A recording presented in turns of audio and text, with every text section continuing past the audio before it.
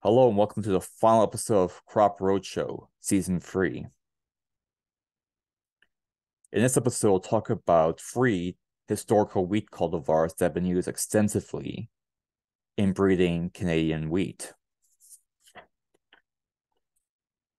You'll start off with Red Fife. Red Fife is Canada's oldest wheat cultivar.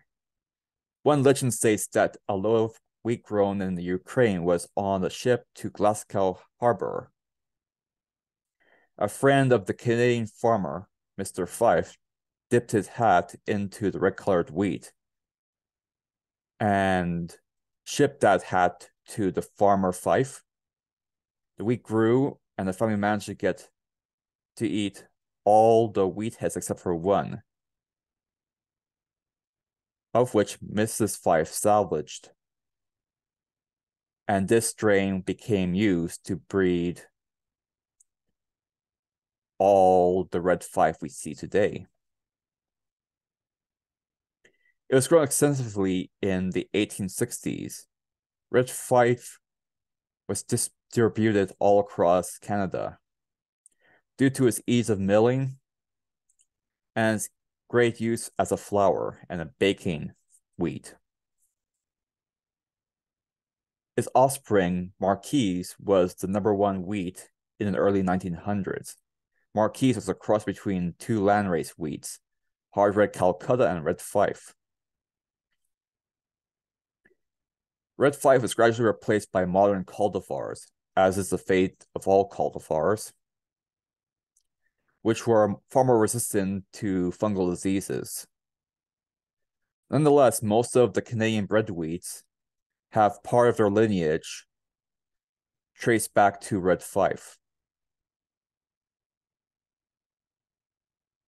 And Canadian wheats are some of the best bred wheats in the world thanks to the presence of Red, Red Fife in their pedigree.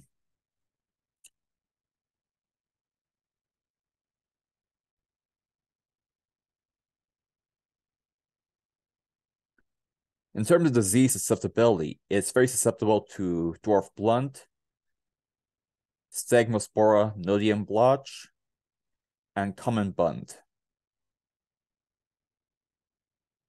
but it is very resistant to stem rust as a seedling, and is resistant to stem rust, at least two of the strains, as an adult. It's also moderately resistant to barley yellow dwarf virus.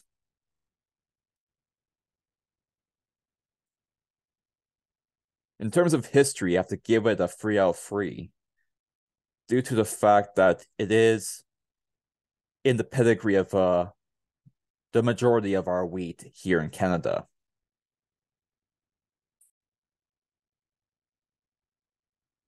The next species we'll the next cultivar we'll cover is red turkey. My apologies for the mix-up.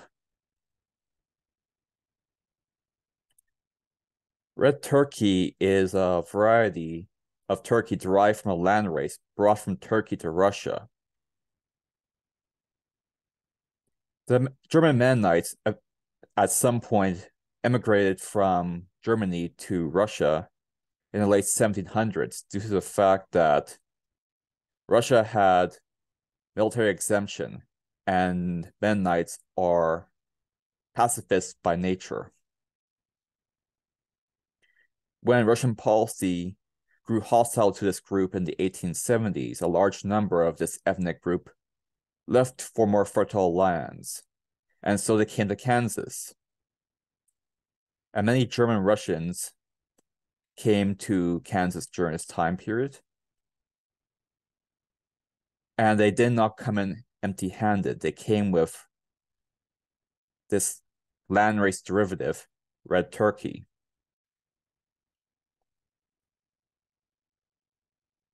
And through the interactions between the German Mennonites and the Catholic Germans. The Mennonites settled all across part of Kansas and spread this variety far and wide. Over time, red turkey became the major parent of most modern cultivars in European and North American breeding programs.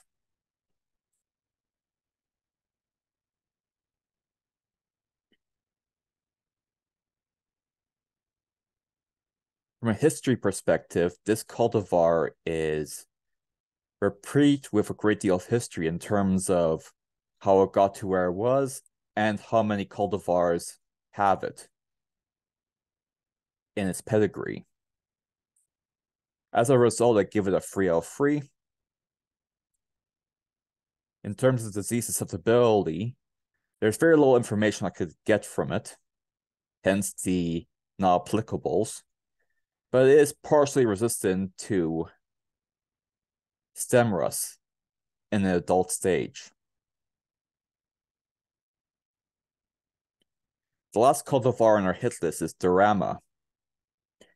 Daruma is an historic cultivar of which is very little known. During modern time periods, it was found that if you add more synthetic nitrogen onto wheat, you get higher yields. But the current wheat varieties had very tall stems that if you add in a lot of nitrogen, they flop over. This is called lodging. This researchers discovered that dwarf wheats actually can handle more nitrogen without falling over, thus increasing yield. They discovered an ancient variety called Daruma. Daruma is a semi-dwarf wheat variety. It was dwarf in nature and was crossbred of American high-yielding varieties, one of which was called Norin 10. Norin 10 was used extensively in different breeding programs to incorporate dwarf genes into North American germplasm. One such cross was called Norin 10 Brevor 14. This call of cultivar was brought to the CIMMYT by Norman Borlaug because this strain was found to be unique in that it was tolerant of subtropical temperatures.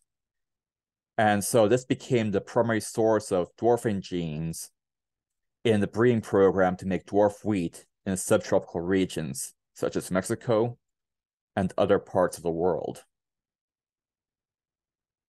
As of right now, over 70% of all cultivars of wheat that are dwarfing have Norin 10 or Northern, Norin 10 Brevor 14 in its pedigree.